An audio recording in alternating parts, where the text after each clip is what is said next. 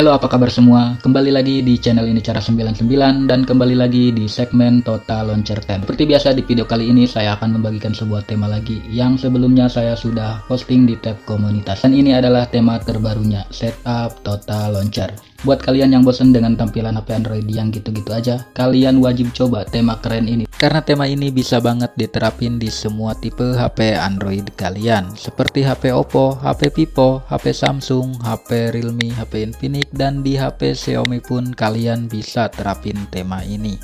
Dan tidak memerlukan akses ROT pastinya. Oke, tanpa lama-lama langsung aja kita masuk ke tutorial cara penerapan temanya. Let's get started. Nah, di sini pastikan kalian sudah download semua bahan-bahannya yang ada di bawah deskripsi video ini. Untuk cara download file temanya, kalian tinggal di tap aja link temanya yang ada di deskripsi. Seperti ini. Nanti akan diarahkan ke browser seperti ini. Terus kalian tap aja browser Chrome seperti ini. Jika sudah terbuka halaman downloadnya seperti ini, kalian tinggal di tap aja ikon panah seperti ini untuk mendownload. Jika diarahkan seperti ini, kalian tinggal di tap aja browser Chrome-nya seperti ini, maka file temanya akan terdownload secara otomatis seperti ini. Oke, kalau udah terdownload seperti ini, file temanya kalian keluar aja. Dan yang jelas kalian sudah menginstal aplikasi yang bernama Total Launcher. Karena ini adalah setup Total Launcher. Nah, jika kalian sudah menginstal aplikasi Total Launchernya, Kalian juga harus download aplikasi yang bernama Jet Receiver di Play Store seperti ini. Nantinya aplikasi Jet Receiver ini digunakan untuk mengekstrak file tema yang udah kalian download sebelumnya. Jika sudah terinstall seperti ini aplikasi Jet Receiver-nya, langkah selanjutnya kalian tinggal buka folder download kalian untuk mengekstrak file tema yang sudah kalian download. Nah, di sini sudah ada icon pack dan file temanya. Untuk file temanya kalian langsung aja ekstrak dan untuk paspornya saya udah cantumkan di video ini dalam bentuk tulisan.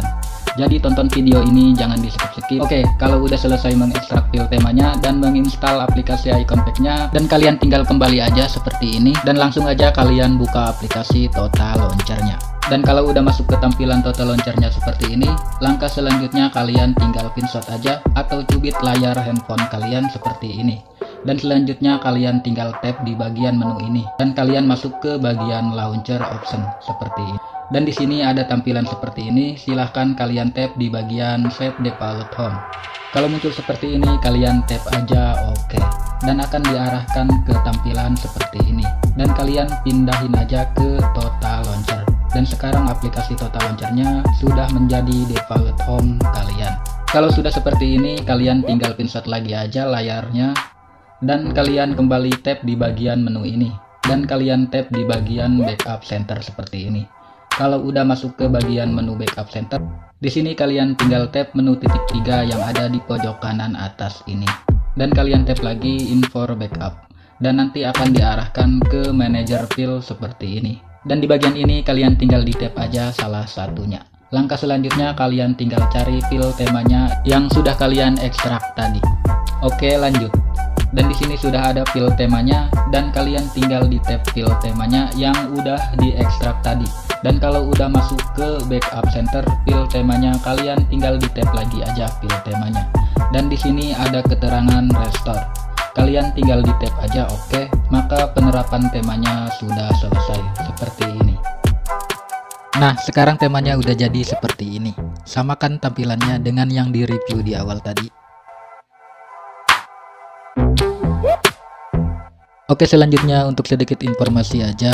Jika kalian saat menerapkan tema total launcher ini tapi temanya ada yang kepotong atau tidak sesuai dengan layar handphone kalian. Untuk masalah seperti ini kalian tenang aja karena di sini kalian bisa sesuaiin sendiri temanya dengan layar HP yang kalian punya. Untuk caranya kalian bisa tonton video tutorialnya tap di sini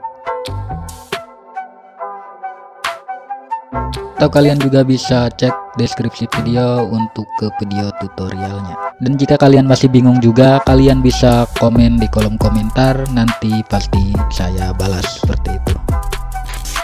Oke, dan buat kalian yang pengen coba tema-tema total launcher keren lainnya, kalian bisa cek playlistnya di sini.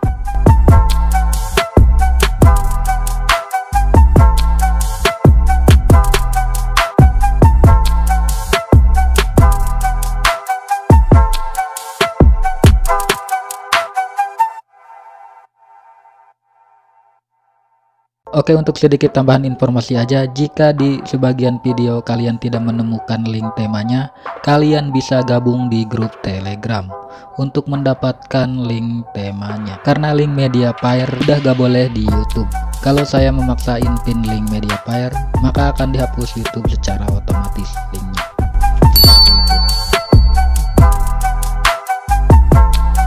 Oke mungkin segitu dulu aja review singkatnya. Dan buat kalian yang tertarik dengan temanya kalian bisa langsung download aja temanya. Yang link downloadnya saya udah cantumkan di kolom deskripsi